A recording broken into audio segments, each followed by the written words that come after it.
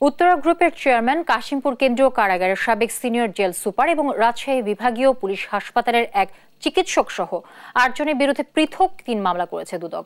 অবৈধ সম্পদ অর্জন, সনদ জালিয়াতি এবং টাকা আত্মসাতের অভিযোগে এসব মামলা করা হয় বলে জানান দুদক সচিব।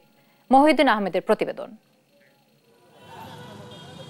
উত্তরা গ্রুপের চেয়ারম্যান গিরিধারী লালমোদি, ব্যবস্থাপনা পরিচালক গণেশ লাল মোদি সহ পাঁচজন দুই কোটি তেত্রিশ লাখ টাকা অবৈধভাবে অর্জন করেন এবং সে টাকা হস্তান্তর করেন। তাদের বিরুদ্ধে কর্মকর্তা আব্দুল মাজাদ বাদী হয়ে দুদকের ঢাকা সমন্বিত জেলা কার্যালয়কে মঙ্গলবার মামলা করেন।